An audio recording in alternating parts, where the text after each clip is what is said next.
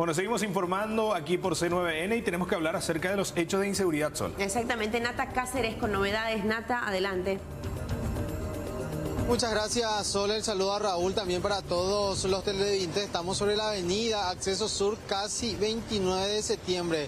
Lo que sería todavía la ciudad de Villaliza, límite ya con la ciudad de Ñembuy, como podrán observar, una avenida repleta de comercios eh, que abren prácticamente a toda hora del día, una zona comercial muy activa.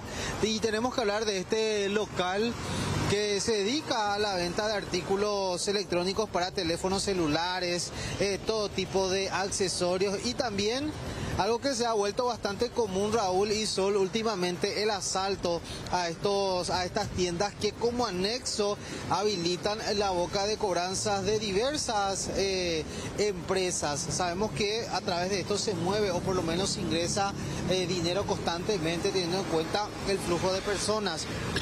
Nuevamente fueron visitados por delincuentes quienes a punta de arma de fuego, bueno, redujeron a las personas que estaban en el interior y en cuestión de minutos, eh, con mucha violencia, con un lenguaje también eh, bastante fuerte, redujeron las personas y se llevaron dos millones de guaraníes, pero como decía, en cuestión de minutos. Y según los datos, ya venían realizando este tipo de asaltos sobre la calle 29 de septiembre. O sea, iban de asalto tras asalto, según los datos que se maneja. Pero vamos a compartir el testimonio de una de las personas que estaba en el interior de este local cuando ocurría el hecho.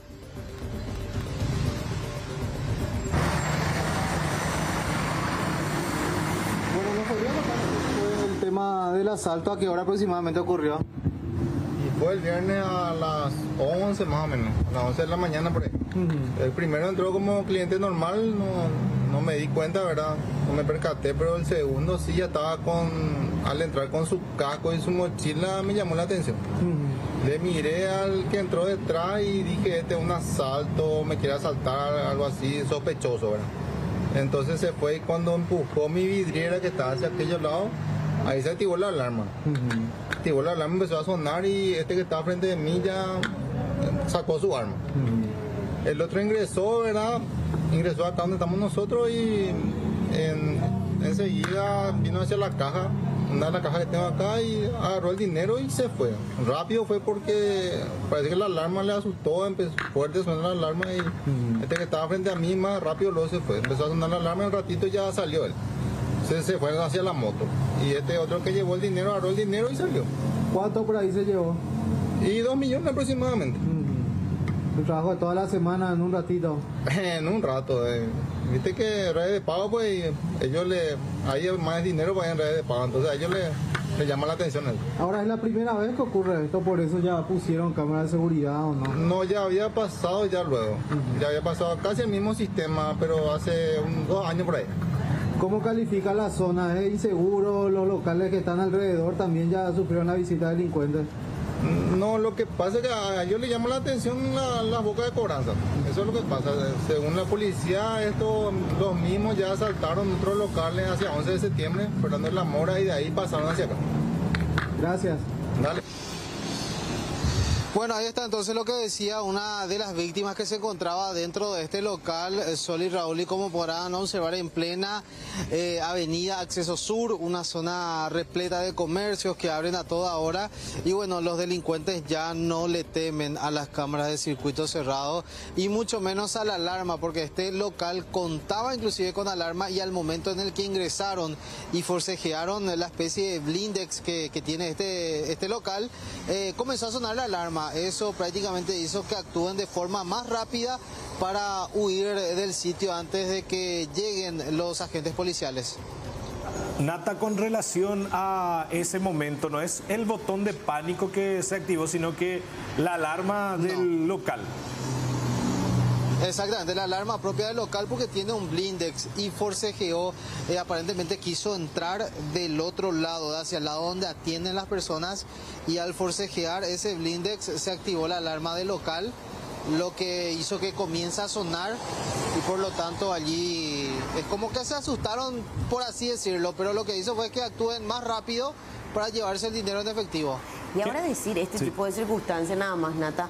Eh, me hablabas de que es una zona sumamente transitada. ¿Ya fueron ellos víctimas en alguna ocasión?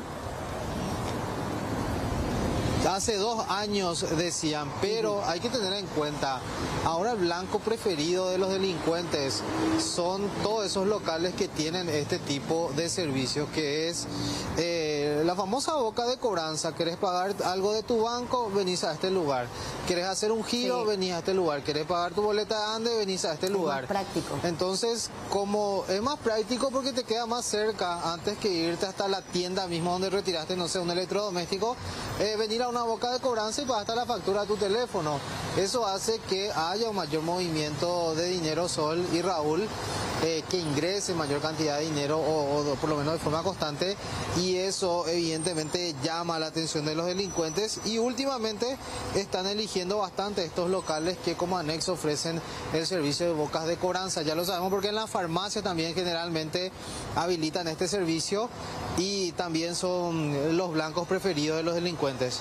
¿Qué primero pidió este hombre que ingresó a cara descubierta? Directamente, ingresó directamente ya eh, anunciando que se trataba de un asalto y él, al verle el encargado eh, que ingresaba este ya con el casco puesto, ya sospechó eh, sus intenciones. Cuando le consulta qué quería, ahí le, dice que bueno, que se trata de un asalto y que preparen todo el dinero para entregar.